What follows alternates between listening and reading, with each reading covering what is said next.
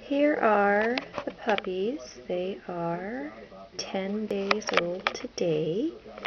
Um, all nice, fat, and sassy.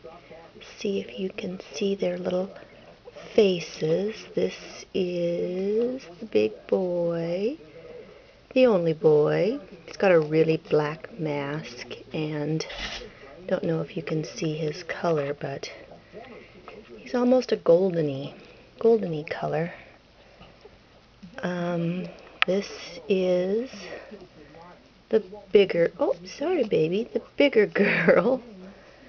Um, she was actually the smallest at birth.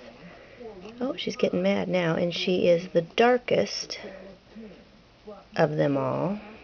And then this is Bertha, who has the little diamond on her back. She, um, oh, I know, she was the biggest at birth and is now the smallest, but she's got that real black face as well, a little bit lighter body, and um, definitely looks like has a mask. Um, they all have nice little tails and are doing quite well, so see if you can see their little faces a little bit better, but that's all for now.